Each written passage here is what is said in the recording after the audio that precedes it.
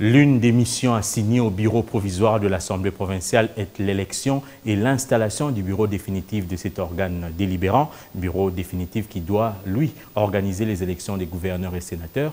Une question qui taraude déjà les esprits. Les élus locaux délient déjà leur langue sur le profil du prochain gouverneur de la ville, quand bien même que les avis ne se convergent pas. Certains estiment qu'il doit incarner les aspirations du peuple. D'autres, par contre, estiment que le poids politique au sein de cet organe sera privilégié.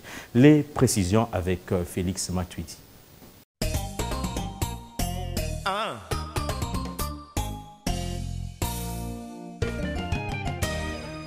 La tâche s'annonce ardue pour doter Kinshasa d'un gouverneur qui répondra aux préoccupations des populations quinoises.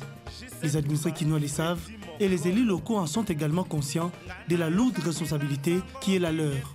Parce que c'est l'FCC qui a dirigé cette ville à travers euh, André Kimbuta et on connaît le bilan.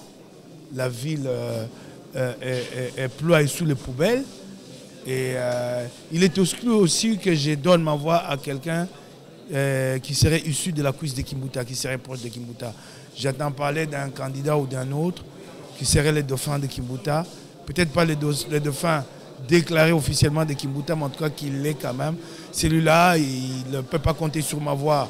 Vous voyez l'état de la ville aujourd'hui, la poubelle, il n'y a pas de route, il n'y a pas d'eau ni l'électricité.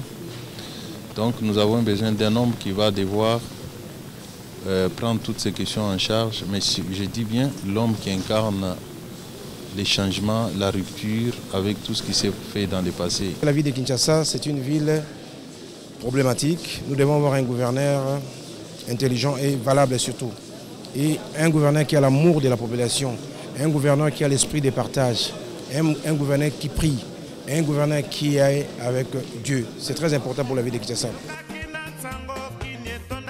Si pour certains, des profits sont projetés, pour d'autres, c'est plutôt le poids politique au sein de l'hémicycle qui tranchera lors de ces scrutins.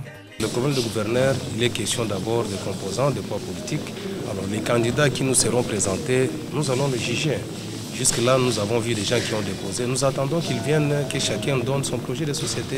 Et nous allons évaluer par rapport à ça qui peut, qui va nous convaincre pour pouvoir diriger la ville province de Kinshasa. Avis que ne partagent pas d'autres élus qui invitent leurs collègues à privilégier l'intérêt général de la population pour éviter la gestion chaotique du gouverneur sortant en 12 ans au sommet de cette ville métropolitaine. nous voulons un gouverneur qui doit venir pour corriger, qui ne doit pas considérer les Quinois comme des consommateurs, mais comme des parties prenantes. Nous savons que ce n'est pas facile pour atteindre tout Kinshasa et faire tout ce que nous voulons. Mais que nous puissions quand même avoir un ouf de soulagement pour dire que non, voilà cette fois-ci, nous avons un gouverneur qu'on appelle un gouverneur qui vit. C'est lui qui gouverne la population de Kinshasa.